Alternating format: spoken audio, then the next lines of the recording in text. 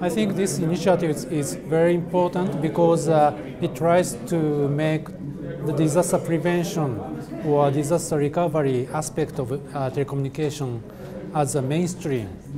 So uh, I think the raising the priority in every country is needed now. So in that sense, uh, this initiative is, is very timely.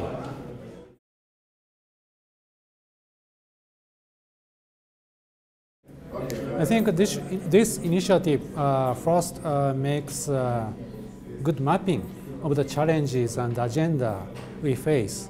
And in, that, in that regard, we'd like to share our experience and share our policy direction with other countries and other industrial people.